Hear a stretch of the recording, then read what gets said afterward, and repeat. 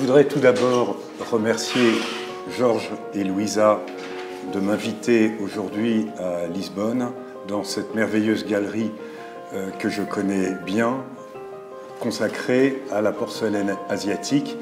Et moi ce soir, je vais vous parler de l'influence des arts décoratifs, l'influence de la Chine sur les arts décoratifs européens dans tous les domaines, que ce soit la céramique, le mobilier, le papier peint, l'architecture et les jardins. Et alors là, c'est l'apothéose. Et au lieu d'avoir de la porcelaine de Chine, là vous avez la chinoiserie la plus totale. Vous avez un décor qui est complètement conçu par des artistes européens, italiens ici, avec des scènes de chinoiserie en relief. Ce sont des, des porcelaines, un cabinet chinois pour la reine Marie-Amélie. Merci beaucoup.